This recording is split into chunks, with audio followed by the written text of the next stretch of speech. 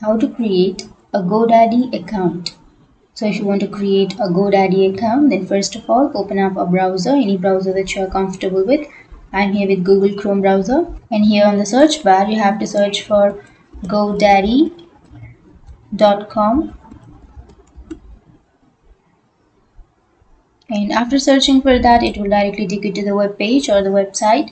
So now if you want to create a GoDaddy account, then you can go to sign in which is on the upper right corner.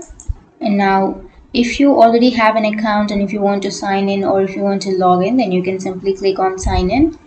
But if you want to create an account like if you are a new customer then you can click on create an account.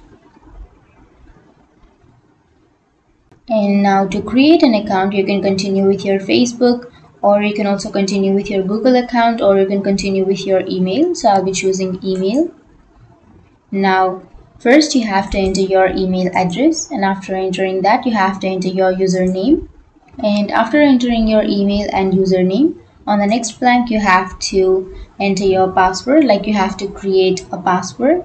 And after creating your password you have to click on agree so that you agree to the terms and conditions. And after that after entering all of this you can click on create account. And now you can click on send verification code now GoDaddy has sent you a verification code on your email. So what you have to do is you have to open up your mail and then you have to check that. But if you didn't receive the code, then you can click on resend email and then you will receive the code again. If you want to change that or update that email, you can click on update email and then you can change your email. Here you will have this GoDaddy code. So what you can do is you can simply copy this code and paste it here and click on verify code.